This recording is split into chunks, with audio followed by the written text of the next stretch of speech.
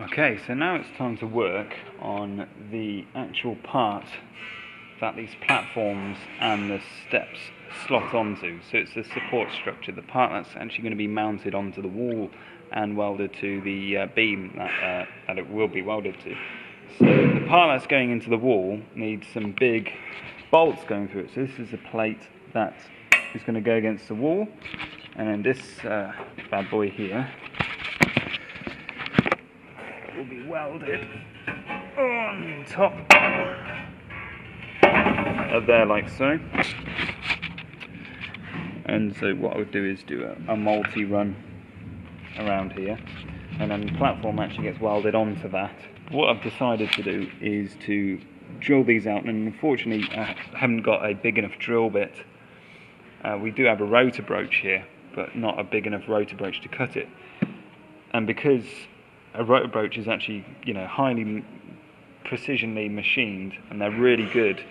Um, it was more cost effective to just get these cheap hole saws from Homebase, made by Craft-Rite. So, a bit of a product review. We'll see how this goes, but this was far cheaper than buying the proper things. I need to use this one, and hopefully I'll be able to drill all six holes with it. If it works out well, I'll be very, very pleased. I thought, ah, for what it was worth, it was worth giving it a try. So that's what I'm going to do now. So what I mean by Rotabroach is one of these. Now these are absolutely fantastic. And Rotabroach don't make these. Another company makes these, but this is a mag drill and Rotabroach makes the cutting tools to go in the mag drill. So normally people call these Rotabroaches as well, but it's not essentially the tool that goes into the mag drill. Um, but we have this set here at the engineering workshop, but they're, they're not big enough. And to buy a bespoke size uh, would would it would have been quite a big cost, and considering we don't have one already, means that we don't use it often enough. So um, these were cheap as chips, so I'm just going to test out what this can do in a mag drill, just because mag drills are awesome, and I want to have one for myself, definitely.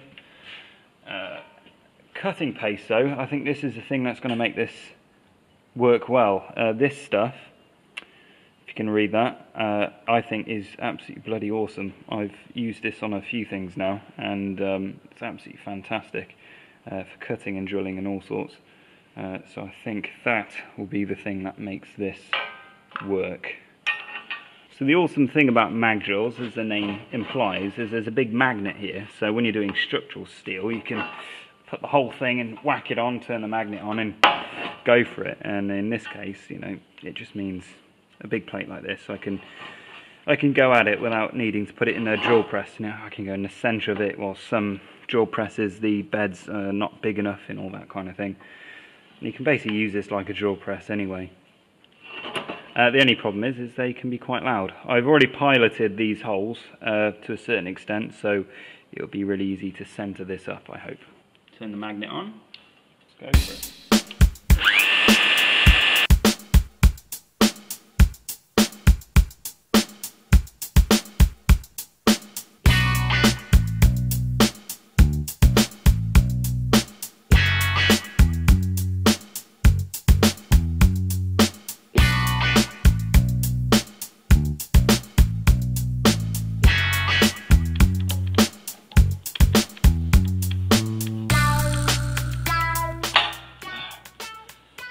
We go.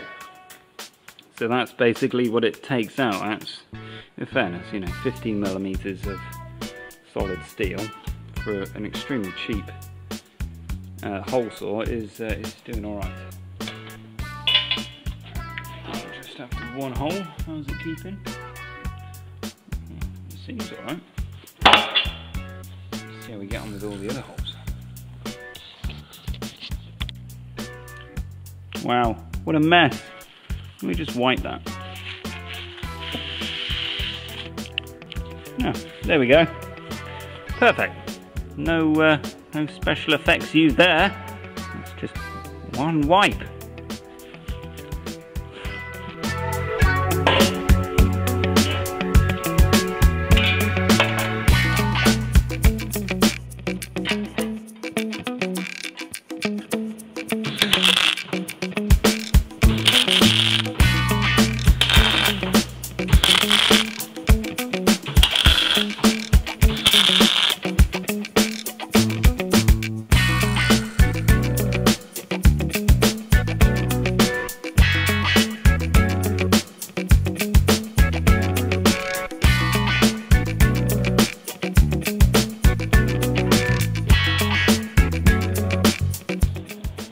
Okay, so that's what I would call my first pass, or the root run. So now the second run I will do is, say this was at 45, just off to the 60, so 45 in that plane, 60 in that plane. Uh, to do the next bead, I'm going to do the, the other bead here now, along the bottom on the plate. So I'm going to do half into the weld, half into the plate, and all I'll do is from the 45 degree, I'll just angle it up slightly. So I'm going about 60, 60 degrees that way and 60 degrees this way.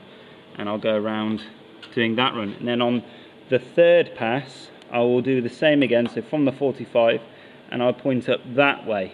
Um, so it'll be um, 60 degrees in this plane uh, and vice versa if you get what I'm saying. Anyway I'll show you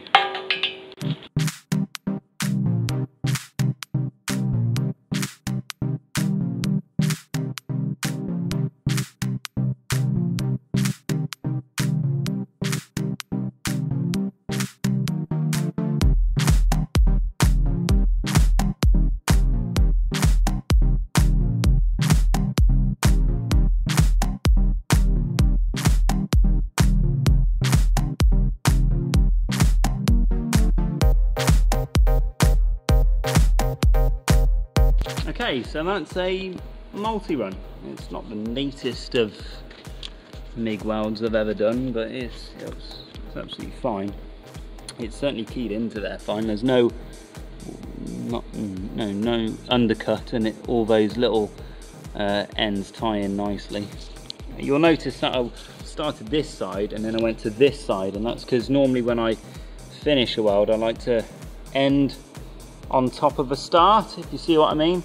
So where I started a weld there, I ended it on it, and just because you, it melts quite hot into it, and where I finished, I've started. That makes any sense whatsoever. I just find it neater, and I think it adds a bit more strength. So I'm going to let that cool down, and hopefully it won't have bent too much. Hopefully it won't bend my frame too much. Uh, uh, I think it'll be alright. These little holes, you might be wondering, there and there, um, were actually vent holes uh, for in case I was to get this hot dip galvanized. Because uh, you imagine it's being dipped in molten zinc at so many hundreds of degrees C. If there's any air or moisture trapped, it will uh, explode if it's got nowhere to escape. So any anything that's got a cavity, like a hollow inside it, you have to always create a ventilation hole so all the molten material can flow back out of it. Um, uh, I don't want it blowing up, that's for sure. Okay, so it's warm to the touch.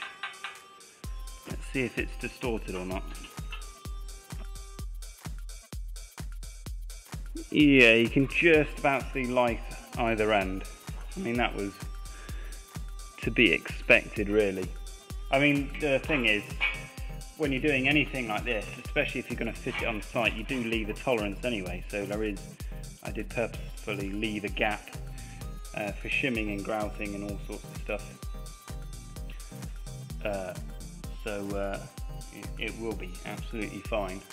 Anyway, whilst I was waiting for that to cool down, I've arranged these large bits of metal in this kind of shape to start to um, prepare for creating the, uh, the Y piece, the actual main frame of the staircase.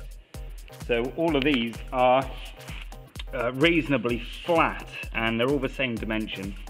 So when I clamp to these, they should hold everything nice and rigid uh, for when I weld. So when I do weld the frame together, it's not going to bow or twist because it's got these, these big things holding it nice and straight. So that's the idea.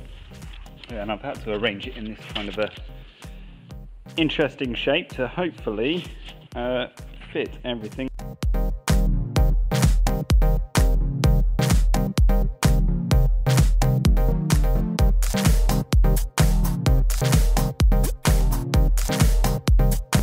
Anyway, like you can see, with a bit of jiggling around, it'll all uh, fit together nicely.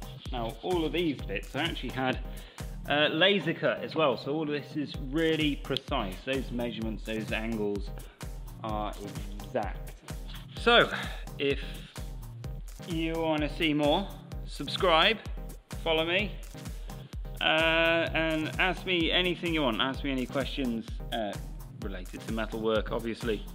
Um, you know, I've, I've come to get some experience in things, and what I don't know, you know, maybe you could, you guys also might know a bit better as well on, you know, approaches, ideas, how to get around doing stuff.